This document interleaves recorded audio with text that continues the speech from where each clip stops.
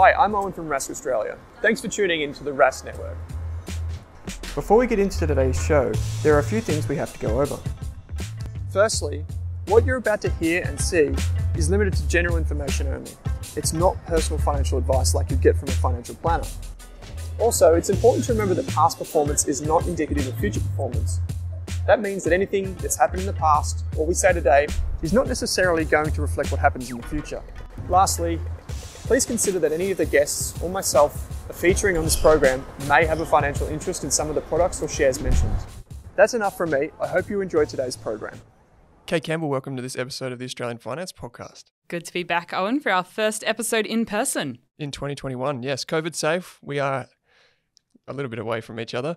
In our uh, new recording studio. Yes, half finished recording studio. For those of you that are watching on YouTube, you can um, you can see some what do you call them like like egg cartons on the wall, but sound dampening. Sound dampening, sound capturing, sound something. Probably not glued on properly. That's what no, we can. It's definitely weird yeah. not being on Zoom anymore. It is. It is. But it's good because we can talk and we can read each other's body language a bit better. Um, so today we're talking about VDHG, which is an ETF. It is probably one of the most popular ETFs um, that are for introductory investors. So investors that are just looking at this and they're thinking, ETFs are great. How do I make it even easier? Yeah, and this is part of our monthly deep dive where we look at an ETF or a share that's really popular in our community or popular on our site's best ETFs and Rask media as well. So we'll yep. spend 20 or 30 minutes going over how VDHG works, all of the key things you need to know as an investor, what information to look, and some of the pros and cons of maybe using this as an investment product and probably to start with a disclaimer, I don't have a position in VDHG, but I believe you do. Yes, I own some shares. So I have a small position in VDHG. Uh, it was a recommendation of one of our services, being Rask Invest, but it was also and is still a recommendation of our Rask ETF service. And we're going to explore why that might be the case in just a moment. But I think the thing to note is that simply saying that we own it and that we've recommended in the past, we're not recommending this ETF to any individual person that's listening to the show. Uh, this is us just exploring what this ETF does. Yeah. As and we'll get to, there are risks. Definitely need to read the product disclosure statement, as with every product. That's it. Yeah. And if you need to find out more about the services that we offer at Rask, head to rask.com.au forward slash FSG, and that's our financial services guide. They'll tell you more about what we can and can't offer you. Okay. So maybe I'll throw it over to you, Kate, because this is a this is kind of the the, the first thing is what is VDHG? So VDHG is really a diversified ETF, it's become quite popular in the last few years because instead of when you're building an ETF portfolio, often we talk about adding some Australian equities into your portfolio and some international shares and maybe some bonds, maybe some real estate yep. um, exposure. But VDHG is really that all in one solution. Well, that's what it's set out to be. And so it's a diversified ETF within itself. And so it invests in various Vanguard wholesale managed funds within this ETF, it wraps it up all nicely. So it's a, a fund of funds of sorts. So yep. it's got you buy units in VDHG and they do all the work underneath to invest in all of their different funds. Um, and we can dive in in a bit of exactly what that exposure looks like because it's really important when you're investing in VDHG that you know what the underlying weightings are a little bit like your super fund. I think this yeah. could be likened to where you just put the money in a balanced fund and the super fund does all the work investing it in different asset classes. Yeah, so just, uh, just let me just unpack a few things there. You said equities. When we say for those of you that are new to investing equities, it's just the same as saying shares or stocks. Kate and I will use those interchangeably. So if we say stocks, equities, or shares, just they're the same thing. So if we say Australian equities or we say Australian stocks, same thing.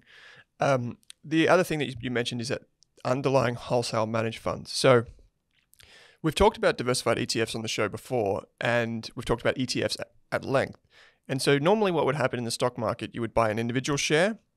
Um, so it's like one individual stock. You might buy BHP. Then along came ETFs, which like allowed, A200, like A200, which allowed you to buy 200 shares or get exposure to 200 shares by just buying the basket instead of buying the individual share. So this would be like getting HelloFresh. Yeah. Instead of getting, um, you know, an a, a, carrot, you go and buy an individual thing, you get a, a box delivered to you. That's like the ETF. But now VDHG has taken it one step further and said, we won't just give you a, a carrot, we won't even give you a box, we'll give you multiple boxes in one big box. Yeah.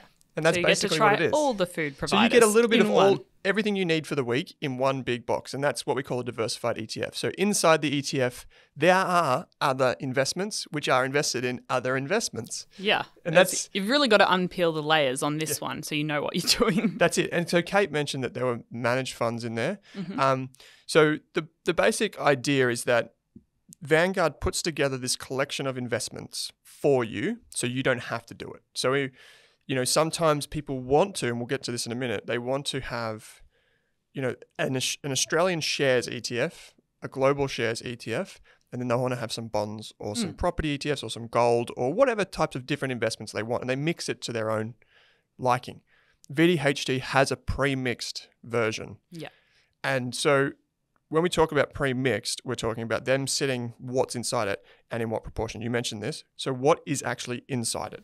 Yeah, so I got that noted down. Let me just find it. So this was mm, accurate as of a week ago. So that was probably the mid November 2021. So definitely have a look because uh, it could change at any time. Yep. But the exposures you have, you have some exposure to growth assets, which is about 90% of the fund. So that's things like Australian shares. And then you also have some exposure to income assets. So that's around 10% of the fund.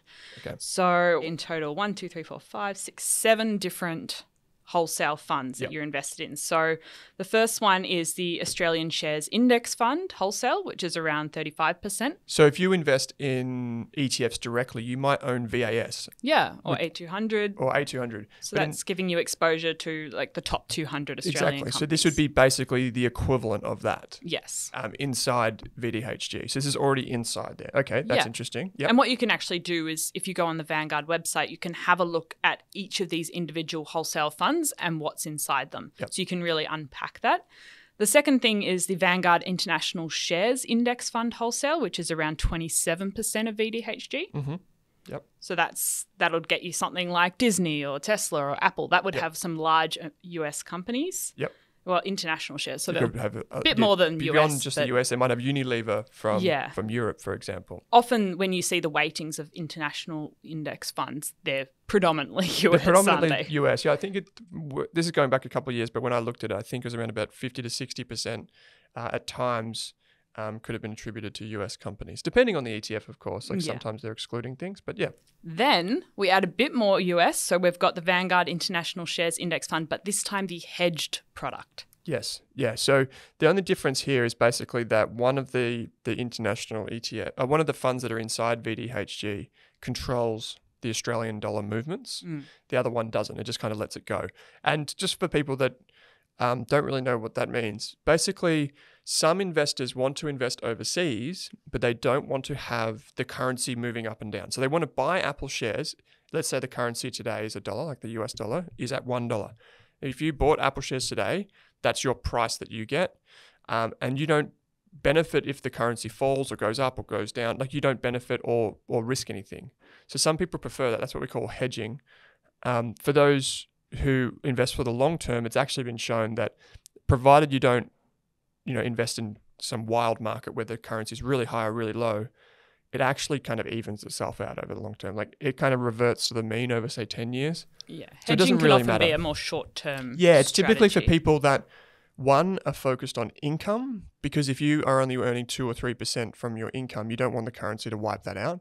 And so that's why if you invest overseas, you'll typically find uh, financial advisors will recommend a hedged version if you're going for income. Mm. But this, so this is only a small amount of the portfolio. That's No, 16%. sixteen percent of the portfolio. so if you had hedged. a $100 invested in VDHG, 16 of your dollars would be, Would be hedged. In, in hedged in international shares. yeah. So then we also have the next position, which I think a lot of people wouldn't realize is in VDHG, but is the Vanguard International Small Companies Index Fund Yeah, Wholesale, which is around six and a half percent. So you're actually investing in small international companies, which a lot of investors wouldn't normally put in part of their portfolio. No, they wouldn't. If they build a portfolio of index funds or ETFs, they'd maybe have like IVV, which is the big S and P 500 ETF, and they might stick with that, and they might get one other one, but few people actually go for small companies. So this is um this is interesting that it's in there, but I think it adds that kind of extra flair for growth. Yeah, and I definitely want to have a look if I was investing in VDHG at what kind of because small companies internationally look quite different to small companies in Australia. They do, the yeah. size so, is so, quite the, different. so a big company in Australia is typically a small company overseas. Mm. Yeah. Uh, and then we have another 5% in the Vanguard Emerging Markets Share Index Fund Wholesale. Yeah, which is an interesting one again because the emerging markets, particularly if you follow like the, the Chinese story or Brazil, if you follow that economy closely, you would see that it's not always smooth sailing, right? Like sometimes you have instances where those economies in those countries are experiencing trade wars, inflation, all different types of things that you can scare you. But it's still important to, I think it's still important to have some exposure to that because those emerging markets tend to be the growth engines of our of our planet in terms of you know the economy and in terms of innovation in many respects too. So um, really Yeah, interesting. another one worth looking into. Um, and then in the income side of things, so this is the they've kind of got a 90-10 approach to their uh, growth and income. You've got 7% in the global aggregate bond index fund hedged. Yep. So Which is a very popular which is a very popular uh, bond strategy. So global aggregate bond index is probably I, I, I could be wrong, but I think it's the number one bond index in the world. So this is a you know, and and we can see that this is hedged too. So Mm. Oh, this is seven. that This one. is seven percent of the portfolio, and this is comes back to that point. If you're investing in, say, if you're investing in bonds and your expected return is only one or two percent per year, if the currency moves one or two percent, well, that's your return gone, and that's why in a lot of instances, global bond funds are hedged Hmm. because advisors really can't recommend, hey, Mr. and Mrs. Smith, go and buy this bond fund, get your one percent yield per year. Oh, the currency moved one percent today. Oh, there goes that yield. So that's why it's hedged, so it controls for that um, the dollar movement. and it's worth looking at. It, if you look on the website, it'll tell you what countries the bonds Yes. are coming from. So I I would presume it's predominantly US, but I'd, worth having a look. Yeah, that's it. You'd have a look around. There'd be there'd be um there'd be bonds from all over the place. To be honest, there'd be government bonds. There'd be all different types of stuff in there. And then the final position, which is 3% of your fund, uh, Vanguard Australian Fixed Interest Index Fund Wholesale. Yeah. So again, just getting exposure to Australian fixed interest. This I haven't actually looked at this fund uh, recently, but I would imagine that this one is actually maybe Commonwealth government bonds. So this would be things like um, lending to the Australian government. It sounds weird that you would lend to ScoMo and whoever else is in charge of the government, but the basics of it are that the government says, um, you know, we'll we'll have these bonds. Someone can buy them. And when you give them your money, they go and use that money for infrastructure. They go and use it to run the economy, and you get a very small return because it's a low risk bet because the government's always going to pay its Yeah. pay its um, debts. And so, just But in su- there's a lot going on in yeah. that. So in summary, we have ninety percent of the the VDHG ETF. Ninety percent of that is in growth, Mhm. what that what Vanguard calls growth, and ten percent of it is in income. Yeah. So what this basically means is that ninety percent of your money is higher risk, and ten percent of it is lower risk. Yeah. So most people that have a super fund wouldn't would not have something this aggressive. No, even the high growth funds in most super funds I've had a look at wouldn't be 90 10. They're more like uh, 80 20 or 70 30 even. That's it. So we'll get to it in a minute, but basics of it is that the VDHG ETF would suit someone with an extremely high risk tolerance yep. and or an extremely long-term time horizon. Because the reality is that some of these growth investments, like the international Aussie shares e- uh, funds inside the ETF, could actually fall pretty quickly and they could stay lower for quite a while. They could experience a market crash. Now, you contrast that with some of the other funds which Vanguard offers, they won't be as aggressive. So there'll be a, a balanced fund, um, there'll be a conservative fund, there will be just a growth fund. This is the high growth fund. So this is at the pointy end. There's some, and some of the other ETF issues are also doing similar diversified ETFs that are fund of funds. So you get Yeah. there's balanced and growth and high growth ones. And I guess to note also this one because we do sort of say have a look at when this fund started. It started near the end of 2017, so you can have a look Yep. at a couple of years of performance now. Yep. Not a huge track record, but then you can also have a look at the performance of the underlying That's funds. the thing. So the funds underneath or inside Yeah, those seven different those seven different funds. funds, you can actually go and look at them on the Vanguard Yeah, website. and know. most of them would have a very long track Yeah, record. very long. Vanguard's mm. been offering those for quite some time. And that's the benefit of this is that you get exposure to funds that have already been in the market. Like so, they, these Vanguard is well established in this regard. And just yeah, for balance in the conversation, it is worth noting that Vanguard isn't the only uh, ETF provider that offers this type of thing. Yeah. we've spoken about it before, but BetaShares has uh, a range of diversified ETFs as well. And I think most of the other providers will jump on that bandwagon because yeah. they have been very popular. I think it depends too, right? Like, um, we're going a bit off the track here, but it also depends if a financial advisor was to come across a client, they might say, yes, you could use VDHG, but we can make it for you. We can design it Mm. for you. And we'll get to that in a minute. But so, you know, if you have an ETF provider, like Vanguard's obviously going to do diversified, but some of the ETF providers probably don't feel that they need to because that's probably not their role. Um, but it, it, it should be really easy for them to make one. So just to, just to cover off some of the basics here, the fees for this fund are 0.27% per annum, which is pretty low considering it's kind of an out of the box. So you're going to give me an example on $1,000? On $1,000, it's $2.70. There you go. So $2.70, which is very, very low, obviously. Even at $27, it would be low in my opinion. But um, yeah, it's a very low fee for, for an out of the box solution. Another thing that we look at is basically how much money is invested in the ETF already. It's at $1.47 billion as of um, mid to late November. And the thing to keep in mind here is some people confuse this with like how good the ETF is. Yeah. Just because a lot of people have invested in an ETF does not necessarily mean that it's a good investment for you. So, just to clear up the jargon here, people will see when they look at an ETF or they look at a fund, they see FUM, which stands for Funds Under Management. So, funds under management is basically just saying how much money is already inside it. Yeah.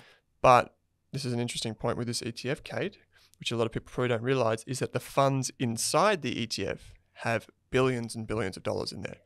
So this is when you see that number for VDHG, you're seeing what's in VDHG's strategy. You're not seeing what's actually inside the ETFs underneath or the funds underneath. Mm. Like for example, VAS, which is basically included in this ETF, is the biggest ETF in Australia, and that's inside VDHG. Yeah. And it's also open ended, Yeah. this ETF. So it can grow to however big. Yeah, it doesn't matter. It can yeah, grow it as could big be as it needs 10 to. billion next year. Who knows? Yeah, and the reality is that that doesn't mean just because the ETF goes up again, that doesn't mean that your investment's going to go up. The reason your investment will go up is because all of the things inside the ETF go up, not because of the amount of money in there. And so if you own VDHG, you can expect to have a distribution. We talked about them before. It's like a dividend from an ETF. You can expect to have them quarterly. Yes. Yeah. And the good thing about this, which is really important to note, which is a subtlety that not many people pick up on, is because the the ETF, the VDH ETF automatically rebalances for you and it does it continuously, it actually it actually minimizes tax for you. So what that means is not for everyone individually, but as a group. What it means is that some ETFs that have only say 10 stocks inside them, they go up, they go down really quickly. And what that what happens is that triggers capital gains tax, which then needs to go to you as the investor. So you then have to put that on your tax return. But because VDHG rebalances and it rebalances small amounts often, it doesn't always incur massive amounts of capital gains tax, which is really good for people that want to compound over the long term. Because as we know, Kate, there's only two certainties in life death and taxes. And taxes are the one that will slow down your compounding probably more than death. So, because I say that in jest, because there was a study done, um, and it's a, it's kind of a, I think it's an, a bit of an investing myth or urban myth that um, one of the big investment firms in the US found that the best performing clients that they had were those that were dead.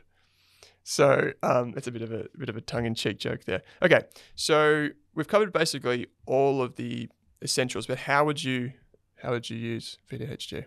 Yeah. So I think VDHG for a lot of people has been used as we talk about that core satellite approach where 80% of your portfolio is those fundamental Yep. like Australian, US companies, international, maybe a bit of small companies, and then maybe 20% of your portfolio is in that satellite approach where it could be you could pick a couple of thematic ETFs. Maybe you've got a particular view on um, Lithium or lithium or gold or whatever you want to pick. Uh, maybe that's where you put your cryptocurrencies, like whatever. You only use a small portion of your portfolio and 80% of it stays in that core area. So I think VDHG is becoming very popular as that core of the portfolio just because it is diversified. You don't have to go and spend, um, I guess one of the advantages is if you just want to reduce brokerage, you can just buy units in VDHG and then you don't have to go and buy four or five different ETFs. It's all done for you. Yeah, you don't have it. to buy these seven underlying ETFs. Well, in this case, wholesale funds. Yep. But um, yeah, it's saving you on brokerage. I know Vanguard's personal investor platform has lower brokerage costs. yeah, it's got an incentive for you to to invest in Vanguard funds using Vanguard brokerage. Yeah. And so it is a very convenient solution for that core of your portfolio. I mean, I personally don't use it as the core of my portfolio just because I think right now, if you've only got a couple of grand, like VDHG seems like an ideal solution. But down the track, if I'm thinking 20, 30 years' time, I'm hoping I've got a more than a couple of grand, maybe a Yeah, couple maybe. of hundred grand invested in ETFs. And so a bit more flexibility with tax, with if you need to sell some, if you're trying to draw an income from it, having a portfolio of ETFs from different providers, different allocations, it gives you a few more levers to pull down the track when it comes to tax and how you want to. Um, if you want to trim some of the positions, if you want to top up just specific, if you have a particular view, if you think now's the time to top up in the Australian market, if you have VDHG, you don't really get a choice about that allocation. But if you design your own ETF portfolio, you do. And so I'm thinking long term here. I don't really want to have to. If I had a like five hundred thousand dollars in VDHG in twenty years' time, and I wanted to change my strategy, to sell that would incur a massive capital gains tax.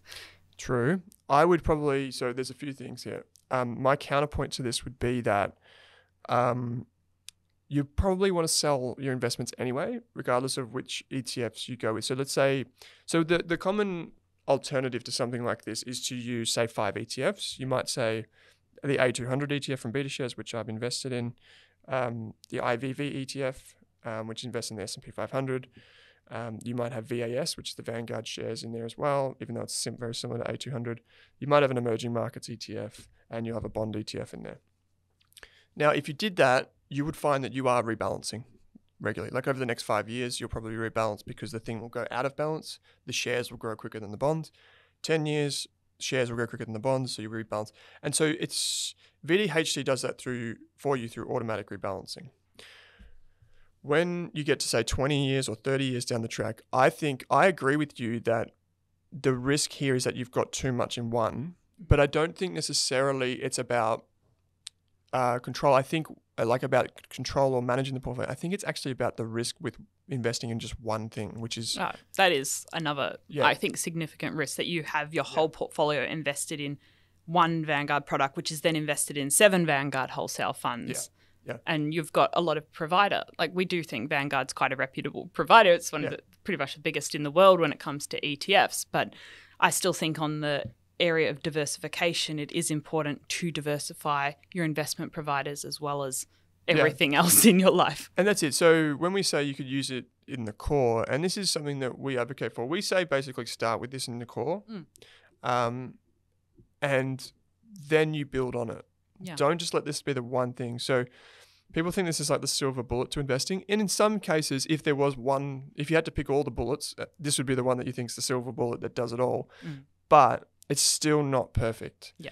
So there there are things about it like for example you might find and this is just a criticism that i see you might find that when you get to 60 and you've got all this money in one etf to kate's point 90% in shares is too much Yeah. and 10% in bonds is too little now my counterpoint i guess a counterpoint to that would be if you get to 60 and you've got that much money you should be doing it right anyway and you could probably invest some of it sell some of it invest it in bonds anyway but i would say to your point uh, start with this then add things around it Yeah. um, add you know, add some if you want more bonds, or go for the more conservative option if you want that.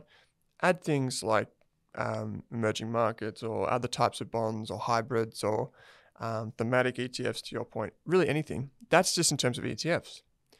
Then why not add individual shares? Why not add inve- uh, property that you own?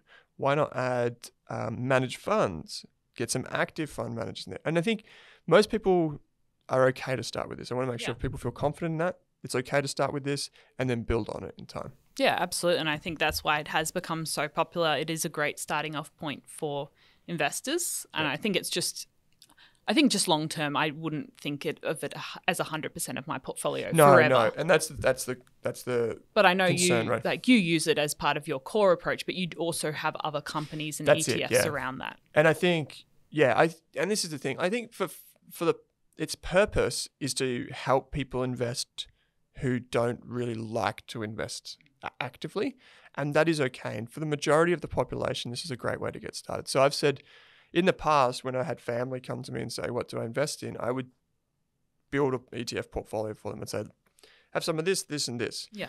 And then they're like, "Oh, this one's gone up. Oh, that one's gone down. What should I do now?" Right? Whereas now I can say to them, just buy this and it'll automatically rebalance for you. Um, you'll have one tax statement, um, and then we're talking small amounts of money. Mm. That you know, four grand, five grand, ten grand, whatever. Yeah. Um, if it was five hundred thousand dollars and they were coming to me, then I don't think it's fit for purpose necessarily. I think then it's okay. We can have some in VDHG, but we also want to look at managed funds. We want to look at these other providers. You know, we start to spread the risk around a bit too. And also remembering it is a high risk strategy. So if you're very nervous about seeing your money fall 30%, because 90% of this uh, fund is in high growth assets, like, and even having small companies and emerging markets and a lot of exposure to the international market, like that quite could be quite a rocky ride. Yeah. if yeah. there is a market crash, and you could see uh, your units fall in value by 20 or 30%. So you have to be prepared for that. It's not just because it's an ETF, it's not going to get rid of, eliminate market volatility or anything like that. That's it. Yeah. So one of the things is that people think that ETFs, because they're low cost, they're low risk, or because they have many investments inside of them, they're low risk. That's not necessarily the case. Most people, when they think about risk, unfortunately, in my opinion, think of the random ups and downs. And so they see on the Today Show, stock market wiped off $20 billion or whatever, you know, some crazy headline. They see that and that invokes fear, panic, and that is unfortunately their definition of risk. When you and I see the stock market falling down, we don't think, oh, panic sell. We think, oh, we should buy some more. Mm. And, uh, you know, not reality is not everyone thinks that way. Yeah. So when you go and buy this, just be prepared that it is going to go up, it is going to go down. Sometimes it will go down quicker than it goes up. But over the long term, 10 years, 20 years, these are the types of investments that you can put in that bottom drawer.